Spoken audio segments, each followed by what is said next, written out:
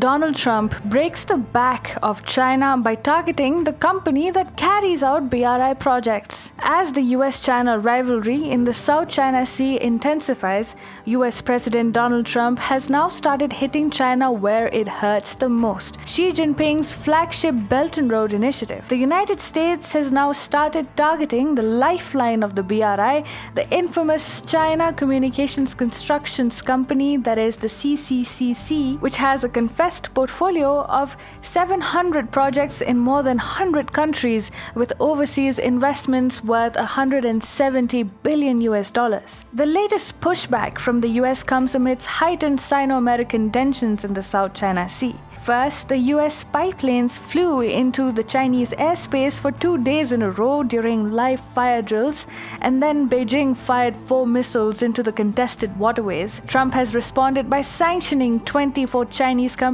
for helping China build military islands in the South China Sea. These companies include the infrastructure company subsidiaries, and the sanctions have caused a severe jolt to Xi Jinping's BRI. The US Commerce Secretary Wilbur Ross said, the United States, China's neighbors, and the international community have rebuked the CCP's sovereignty claims to the South China Sea and have condemned the building of artificial islands for the Chinese military. He further said the entities designated today have played a significant role in China's provocative construction of these artificial islands and must be held accountable. The move to impose visa and trade restrictions on the China Communications Construction Company subsidiaries is a statement of intent from the Trump administration. It is showing how it can cause irreparable damage to Xi Jinping's ambitious BRI project, a trillion dollar project to establish Chinese hegemony in every corner of the world,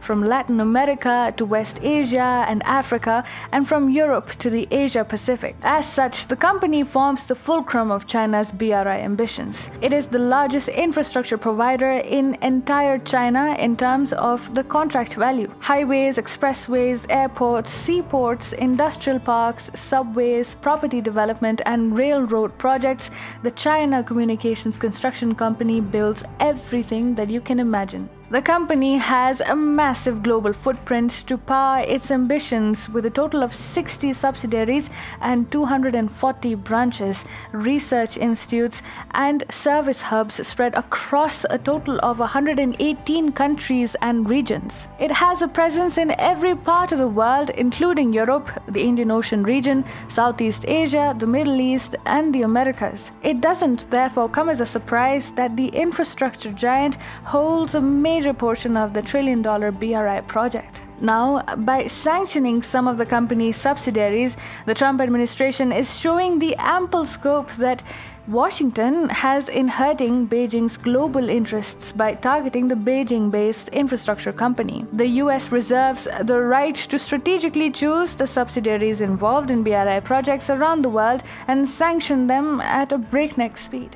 Moreover, President Trump also has a legitimate excuse to ban the China Communications Construction Company units as the infrastructure company has been enabling the People's Republic of China to reclaim and militarize disputed outposts in the South China Sea. Meanwhile, ominous signs for the China Communications Construction Company are also coming from the US Secretary of State Mike Pompeo himself. In a statement, he said, Today, the Department of State will begin imposing visa restrictions on the People's Republic of China individuals responsible for or complicit in either the large scale reclamation, construction, or militarization of disputed outposts in the South China Sea, or the PRC's use of coercion against Southeast Asian claimants to inhibit their access to offshore resources. The senior US State Department official also described the visa restrictions as a mere start of what more action the US could take against China for its reclamation work in the disputed South China Sea. Moreover, it is going to be a cakewalk for President Trump to sanction even the China Communications Construction Company as a whole,